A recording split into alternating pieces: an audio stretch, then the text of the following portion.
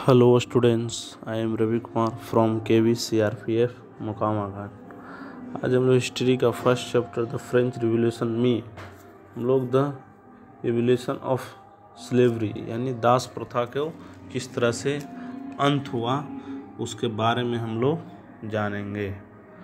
ठीक है?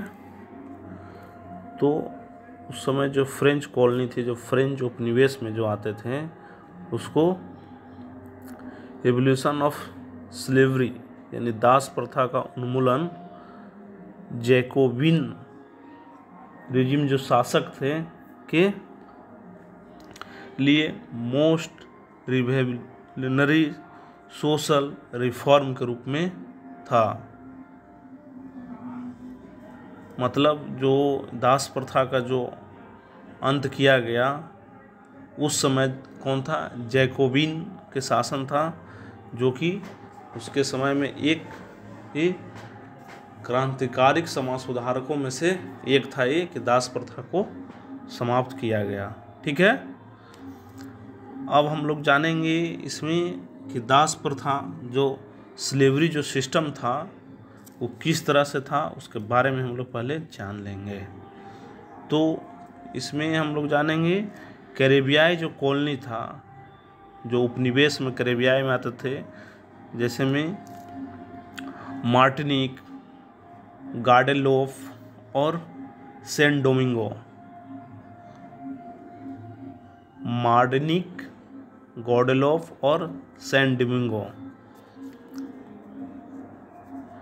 से क्या होता था वहाँ से?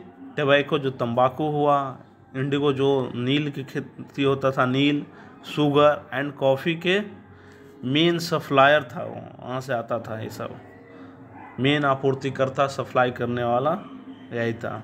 करेबियाई कॉलोनीज ठीक है? और वहाँ क्या सिस्टम था फ्रांसीसी यानी यूरोप में कि वहाँ के जो लोग थे, जो फ्रेंच पीपल यूरोपियंस जो अपना वर्क करने के लिए, काम करने के लिए वो अधिक दूर नहीं जाना चाहते थे और फिर अनफैमिलियर लैंड जहाँ पर अपरिचित जगह हो, वहाँ पर उन लोग नहीं जाना चाहते थे, जिसके कारण क्या हुआ कि जो प्लांटेशन था, जो बागान की जो खेती किया जाता था, उसमें लेबर का शॉर्टेज हो गया था, लेबर के कमी हो गया था। Shortage of labour on the plantation जहाँ पर जो बागान के जो खेती किया जाता था उसमें लेबर के कमी हो गया था। जब वहाँ के आदमी दूर जाना नहीं चाहता था तो इसके कारण ही कमी हो गया था। तो उसी कमी को पूरा करने के लिए लेबर जो शॉर्टेज के जो कमी हो गया था, उसके कारण ही यूरोप से अफ्रीका और फिर अमेरिका, यूरोप, अफ्रीका और अमेरिका, ये तीनों के बीच में ट्रायंगुलर स्लेव ट्रेड यानी त्रिकोणीय दास व्यापार द्वारा किया जाता था। इस लेबर को कमी को पूरा करने के लिए ही यूरोप, अफ्रीका और अमेरिका के बीच में ट्रायंगुलर स्लेव ट्रेड, यानी त्रिकोणीय दास व्यापार किया जाता था उसे पूरा किया जाता था। इस स्लेव ट्रेड का स्टार्टिंग कब हुआ? तो सेवनटीन सेंचुरी से स्टार्टिंग हुआ ये। दासों का जो व्यापार करने का जो सिस्टम हुआ सेवेंटी सेंचुरी में स्टार्ट हुआ। और फिर इस जो दास को लाने के लिए जो स्लेवरी लोग थे, उसको लाने के लिए फ्रेंच मर्चेंट जो फ्रांस के जो व्यापारी थे, वे बोर्दे और या फिर नाश्ते, बोर्दे या नाश्ते। बोर्दे या और नाश्ते तो पोर्ट से वो अफ्रीकन कोस्ट, जो अफ्रीका किनारे वाले क्षेत्र पर जहाज़ ले जाते थे और वहाँ से वो दास लोग के वहाँ से लाते थे।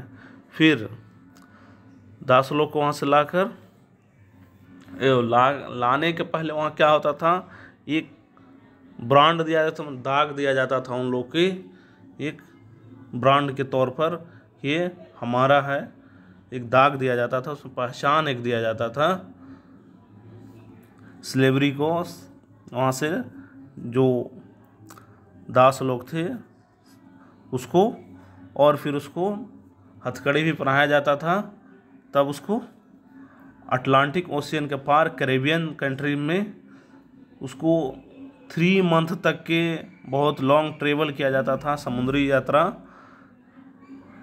के लिए उसको क्या किया जाता था? जहाज़ में ठूस ठूस के भर दिया जाता, पैक कर दिया जाता, लगता है कि पैक हो गया है। तो ऐसे उसे पैक करके उसको लाया जाता था, ठीक है?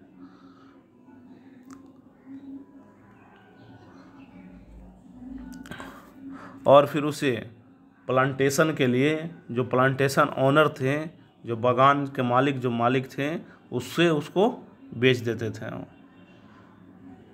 प्लांटेशन ऑनर से उसको बेच देते थे।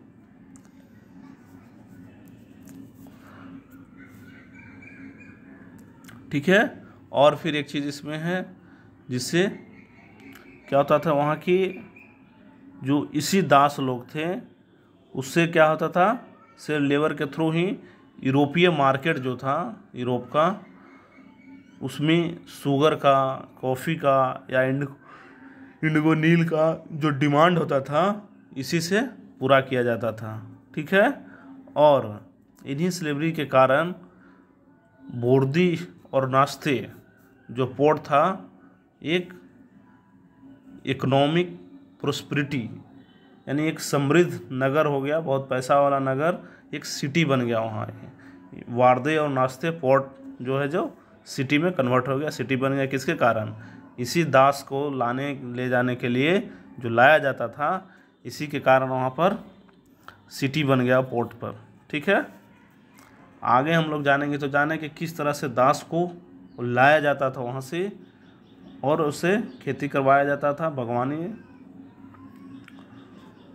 अब हम जानेंगे कि ये जो दास प्रथा का जो सिस्टम था, उसको किस तरह से समाप्त किया गया। तो एटीन सेंचुरी में एक फ्रेंच में स्लीवरी जो दास थे, उसको बहुत ज़्यादा क्रिटिसाइज नहीं किया गया उसको, बहुत ज़्यादा निंदा नहीं किया गया, समझा गया कि ठीक है अभी, एटीन सेंचुरी तक।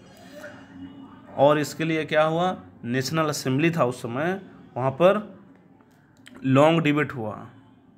क्या हुआ कि जो हमारे जो कॉलोनी में जो रहते हैं, उपनिवेश में, फ्रेंच उपनिवेश में, उसको भी राइट दिया जाए, जो मूल अधिकार है व्यक्ति का, राइट टू मैन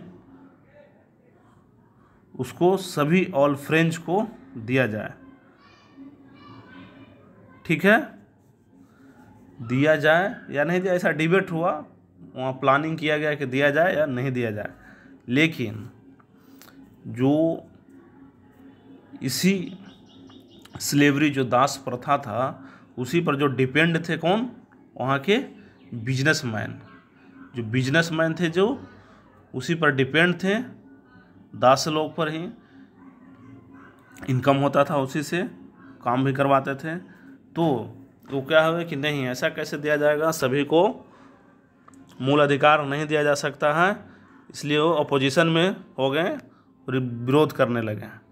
जिसके कारण क्या हुआ कि नेशनल असेंबली में कोई भी ला पास नहीं हुआ, इससे संबंधित दास व्यापार से संबंधित, ठीक है? लेकिन क्या हुआ बाद में फिर? 1794 में 1794 में एक कन्वेंशन में, फ्रेंच कॉलोनी में ऑल स्लेवरी जो इतना भी थे, दास लोग उसको मुक्त करने का फ्री करने का एक कानून पास कर दिया गया था। फाइनली कब किया? सेवनटीन नाइन्टी फोर में। किसके थ्रू? कन्वेंशन में ये। ठीक है? Free all self in the French फिर इसके आगे हम लोग जानेंगे, लेकिन ये क्या रहा? कि शॉर्ट टर्म के लिए ही इसको रहा मेजर किया गया, बहुत कम समय के लिए रहा। फिर इसके टेन ईयर बाद क्या हुआ? कि नेपोलियन आया। नेपोलियन जब आया तो फिर से स्लेवरी का जो दास का जो सिस्टम था दास प्रथा उसको फिर से स्टार्ट कर दिया। जिससे क्या हुआ कि वहाँ के जो बगान मालिक थे, जो प्लांटेशन ओनर बगान मालिक को इकोनॉमिक इंटरेस्ट के लिए फिर से वो अफ्रीकी निगरों की फिर से वो गुलाम बनाना स्टार्ट कर दिया। उनको फ्रीडम मिल गया था, स्वतंत्रता मिल गई थी कि इसको गुलाम बना सकता है। नेपोलियन के समय में ऐसा मिला था। ठीक है? लेकिन, फिर लास्ट में फाइनली रूप से, ये फ्रेंच कॉलोनी में ये दास प्रथा का अंत हुआ 1848 में 1848 में एबलिस्ट किया गया ये फाइनली रूप से एबलिस्ट किया गया। स्लेवरी सिस्टम जो था, उसको समाप्त कर दिया गया, दास प्रथा का उन्मूलन कर दिया। ठीक है? इस तरह से आज हम लोग जाने एवोल्यूशन ऑफ़ स्लेवरी दास प्रथा का उन्मिलन। किस तरह से अंत किया गया दास प्रथा के, उसके बारे में हम लोग जाने। ठीक है? ओके।